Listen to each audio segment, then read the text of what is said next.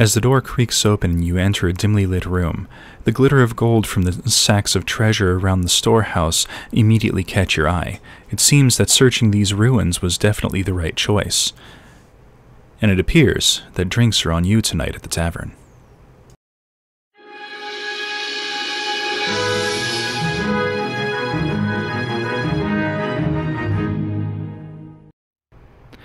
Alright, today we're going to be making some little loot sacks, and we're going to do that with these little uh, napkin squares that I cut out, as well as some little filler beads and some twine.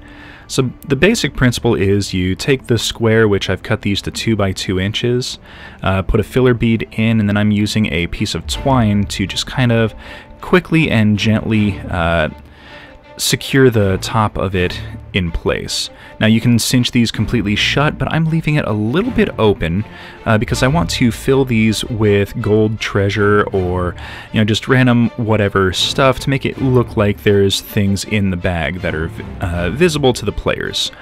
Uh, so to secure the twine in place, I do just a little drop of super glue on the uh, knot, and that will hold it in place and bond it to the napkin.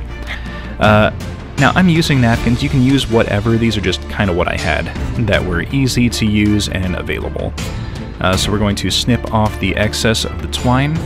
Uh, and then using the scissors, I'm just kind of cutting out a rough uh, circular pattern around the top and then trimming off any edges that just kind of look like they're out of place. Now this will give it a nice uh, little appearance and voila, a sack.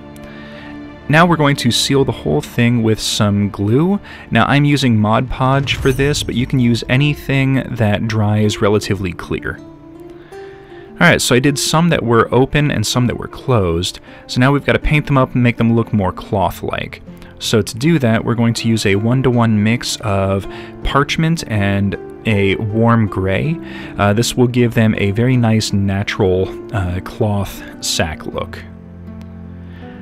Okay, so now the twine kind of got covered up through all of that, so we're going to use some raw sienna to paint over it. This will give it a, uh, well, it'll give the rope a rope-like appearance.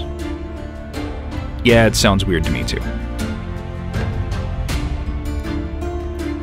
Okay, once that's done, we're going to uh, kind of give it some shading and some uh, better appearance, and I'm using some Army Painter uh, soft tone shade. Uh, this worked really, really well to give it a more natural appearance and just kind of uh, overall nice quality shade. Uh, I have tried this with some Citadel shades, and while they do work, I liked this better because it didn't change the color too much. Just kind of made it a little bit more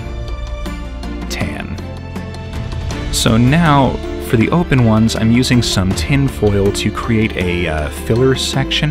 So this is just basically me stuffing some tin foil into the top of it to kind of create a little uh, mound that some uh, gold glitter will fit on top of. Uh, and this will get secured down with a drop or two of super glue just to make sure it doesn't come loose. Now, it's important to do this at the end of all the painting and the shading uh, because you don't want the silver of the tinfoil to get covered up. And I'll kind of show you why in a moment. Uh, so now we're going to use some Mod Podge. Uh, I definitely would recommend a very, very strong glue for this. You don't want the glitter coming off once you're done. So just kind of paint over the top of it. Make sure to leave the edges of the top of the sack unpainted with the glue, and then just cover the whole thing in some uh, gold glitter, uh, kind of like this, and then let it set to dry for about an hour or so. Okay, maybe not an hour, just like wait until it's dry. So now that it's dry, I'm going to take a uh, brush tap off the excess and then brush off any that are a little bit loose, just to make sure that they don't come off during gameplay. And the reason that we don't paint the uh, aluminum foil is any that break off and let you see the foil through just makes it look like silver pieces.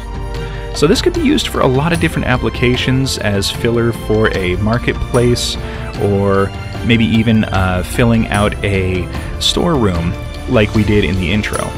So thank you everyone for watching. Please hit that like button, subscribe for future content, comment in the comments section, and we will see everyone next episode.